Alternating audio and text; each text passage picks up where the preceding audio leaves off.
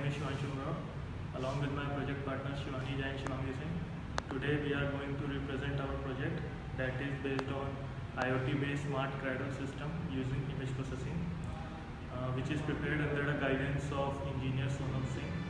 So let's move to our project. As you can see, this is our cradle. So this is a full structure of our cradle, which is prepared uh, using a wood. This is the stand, and these are the pillars of the stand, which support the whole cradle system. This and this uh, this wooden plank. This wooden plank is basically used for swing mechanism because we have attached two motors. This is motor one. This is motor two and with this motor we have attached a singular rod single rod uh, then it is attached with the cradle so let me explain you our basic components. So here this is our total cradle system. This is our baby uh, which is obviously a dummy baby. This is a sound sensor. This is our pulse sensor. This is motion detector.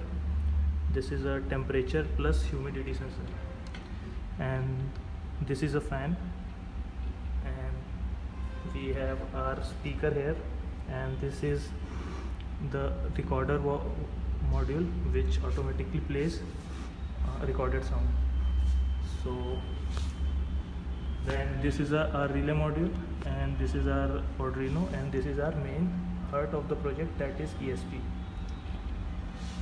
hello everyone this is Shivangi Singh हमने जो है cradle के को place करने के लिए चार stand लगाए हैं और उसके बाद से जब इस स्टैंड के बाद से हमने एक स्टैंड जो है वो क्रैडल के ऊपर प्लेस किया है, जिससे हमने मोटर्स को कनेक्ट किया है, ताकि जो झूला है वो स्विंग करे। उसके बाद से जो, उसके बाद से ये हमारा जो है, ये क्रैडल के अंदर पूरा सेंसर इम्प्लीमेंटेशन है। सो हम ये जो है, हम, मेरा साउंड सेंसर है, ये जो हमारा क्रैडल का साउंड सेंसर है। उसके बाद से ये जो है, हमारा टेम्परेचर सेंसर है। फिर हमने जो है, यहाँ पे टेम्परेचर और सॉरी ये हमारा पल्स सेंसर है एंड ये हमारा टेम्परेचर और ह्यूमिडिटी सेंसर है। ये हमारा जो है, वो मोटर मोशन डिटेक्टर है। ये हमने मोशन डिटेक्ट करने के लिए बेबी का यहाँ पे लगाया हुआ है। आफ्टर डैट हमने यहाँ पे एक रिले मॉड्यूल लगाया जो कि हमने हैंडमेड यानी हमने खुद से डिज़ाइन किया हुआ है। ये हमारा बेबी के लिए फ़ैन लगा हुआ है और ये हमारा जो है वो नोट एमसीयू है। ये हमारा ऑडिनो है और ये जो है हमारा वो मोशन सॉरी ये जो हमारा जो है वो ये मोटर ड्राइवर है। यहाँ पे हमने एक स्पीकर कनेक्ट किया है क्रैडल में।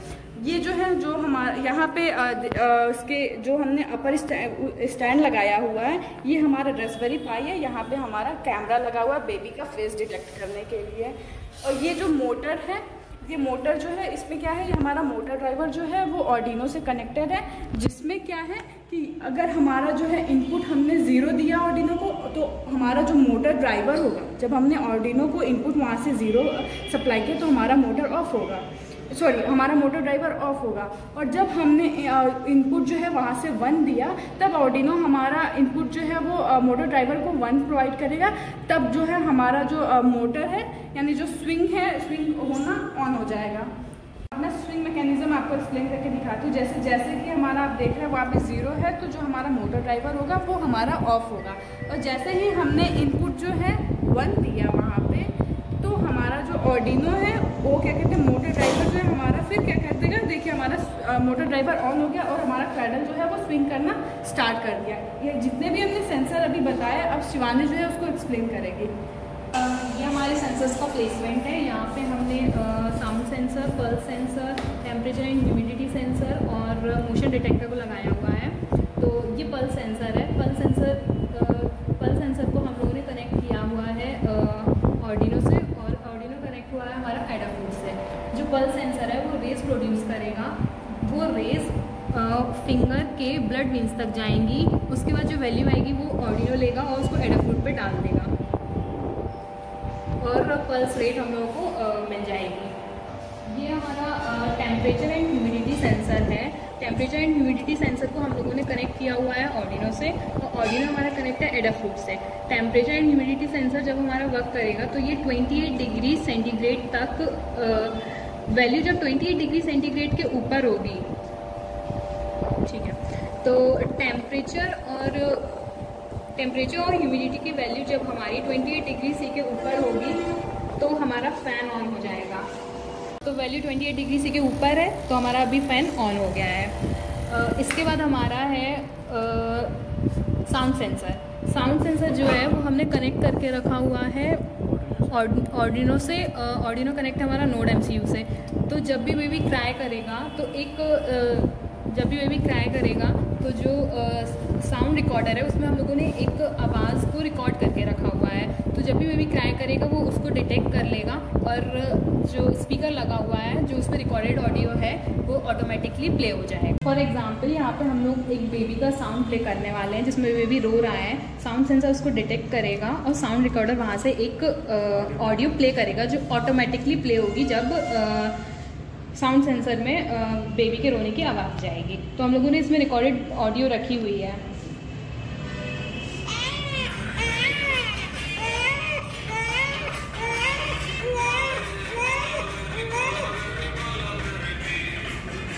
नेक्स्ट सेंसर जो हमारा है, वो है मोशन डिटेक्टर मोशन डिटेक्टर जो है, वो ह्यूमन की प्रेजेंस को डिटेक्ट करता है. जब कोई ह्यूमन ह्यूमन होगा, जैसे कि मैंने यहाँ पे फिंगर करी है तो ह्यूमन स्टेटस यहाँ पे ग्रीन हो गया है. तो जो मोशन डिटेक्टर है, ये हमने ऑर्डिनो से नोड एम से कनेक्ट किया हुआ है और उसको हमने कनेक्ट किया हुआ है एडाफूट से. जब हम इसके पास फिंगर करेंगे तो मोशन डिटेक्टर जो है जब इसके पास हम लोग फिंगर करेंगे तो ये ह्यूमन प्रेजेंस डिटेक्ट करेगा और यहाँ पे जो सिग्नल है वो ग्रीन हो जाएगा। Next part of our project is image processing this will be explain by Shivanshu Umrao then the next part is image processing. So for image processing we have uh, raspberry pi which is connected with the camera. जैसा कि आप देख सकते हैं, इधर Raspberry पाई है, ये हमारा सी एस आई केबल के थ्रू एक कैमरा मॉड्यूल कनेक्ट हुआ है। और हमने इसको पावर सप्लाई दी हुई है इस वाले केबल से। कंप्यूटर ये मेरा मेटलैब का वर्जन है। ये जैसा कि देख सकते हैं आप, मैंने इसमें अपना रेसबेरी पाई के अपने फ़ंक्शंस बना रखे हुए हैं। ये मेरा रेसबेरी का आईपी है। With user name and password और यहाँ कैमरा बोर्ड का पूरी डिटेल्स दी हुई है। देन इसके बाद हम अपना यहाँ पे कोड डालेंगे। यहाँ पे मैंने कोड पेस्ट किया। ये हमारा आउटपुट है जो कि कैमरे की हर एक कैपेसिटर की वैल्यू होती है, अगर कैमरा सीमॉस बेस्ड है। तो ये हमारा फेस डिटेक्शन का आउटपुट आ रहा है। जैसा कि आप देख सकते हैं कैमरा हमारा पूरा यहाँ पे फेस डिटेक्ट करके बता रहा है कि यहाँ पे एक फेस अवेलेबल फेस डिटेक्ट हो रहा है। ओके इसके आसपास हमारे सेंसर्स लगे हुए हैं जैसे कि ये हमारा है आ, क्या कहते हैं साउंड साउंड डिटेक्टर ये मोशन डिटेक्टर है। हल्का सा इसमें थोड़ा प्रिडिक्शन थोड़ा गलत हो जाता है कभी कभार। देन ये हम यहाँ पे क्लोज कर दे रहे हैं। हमारी पूरी कोडिंग इसके ऊपर है।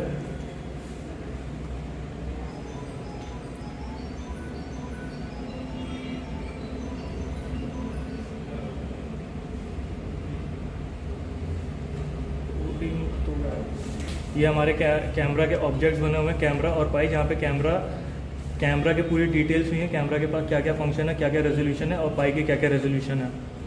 आ, ये कोड है हमारा। आ, पहले हम लोग रेसबेरी पाई से इमेज कैप्चर करेंगे। यहाँ पे हमने स्नैपशॉट लिया हुआ है कैम कैम हमारा कैमरा मॉड्यूल का एक ऑब्जेक्ट है। माई स्नैप पे हमारी फ़ोटो आ जाती है। उसके बाद अगर हमको फ़ोटो शो करना है तो हम यहाँ पे आई एम शो कमांड से उस फ़ोटो को शो कर सकते हैं। फिर उसके बाद जो नेक्स्ट हमारा फ़ंक्शन है वो हमारा पूरा फेस डिटेक्ट करने का फ़ंक्शन है। फेस हम डिटेक्ट कर रहे हैं कैसकेट ऑब्जेक्ट डिटेक्टर से। ये हमारा मेटलैब का प्री डिफाइंड फ़ंक्शन होता है पहले से एफडी से। And B box B box हमारा जो हमारे पास फ़ोटो आई है उसके अराउंड एक बॉक्स बना देता है। Then image out image out image out में जो, हमारा एनोटेशन एनोटेशन मतलब हम उस पर क्या आ, उसका वो डाल रहे हैं। मतलब x और y एक्सिस पे क्या उसकी वैल्यू दे रहे हैं? मतलब जैसे हमारा वहाँ पे आउटपुट पे, जैसा कि आप देख रहे थे कि फेस डिटेक्टेड बता रहा था। यहाँ पे आप देख सकते हैं फेस बता रहा है। तो ये फेस ही एनोटेशन का काम करता है। एंड देन ये हमारी पूरी इमेज की प्रोसेसिंग होगी। उसके बाद हमको वीडियो एक वीडियो के फॉर्मेट में लाना था। तो हम लोगों ने वीडियो के फॉर्मेट में लाने के लिए इसको हर एक फ्रेम पे कैप्चर करने की कोशिश की है। मतलब हर एक फ्रेम पे फ़ोटोज़ लेगा और उसको एक रेगुलर इंटरवल पे लूप के थ्रू देन यहाँ पे फ्लैग है फ्लैग की वैल्यू हम वन रखें, जब तक फ्लैग की वैल्यू वन है, तब तक हमारे कैमरा और पाई की वैल्यूज़ नॉर्मल रहेंगी. यहाँ पे हमारा फ़ोटो लेगा कैमरा कैमरा के बाद फ़ोटो शो करेगा. शो करने के बाद जो कैमरे की फ़ोटो होगी, उस पर हम लोग फेस डिटेक्शन अप्लाई करेंगे. फेस डिटेक्शन अप्लाई करने के बाद जितने यहाँ पे हमने फ़ंक्शंस दिए हुए हैं अप्लाई करने के बाद फिर जो टाइटल होगा वो डिटेक्टेड फेस यहाँ पे बता देगा।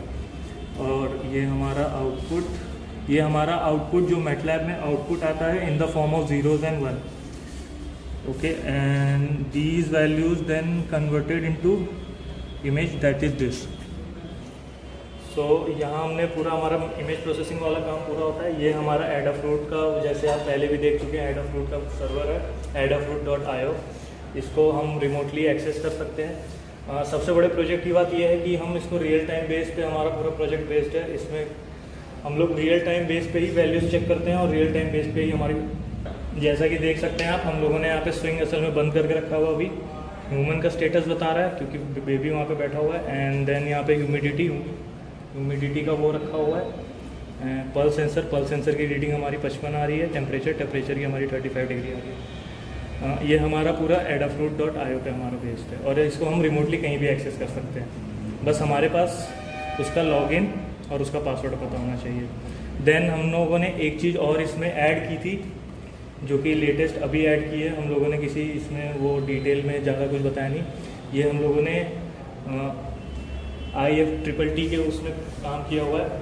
असल में इसके थ्रू हम मैसेज जनरेट कर सकते हैं।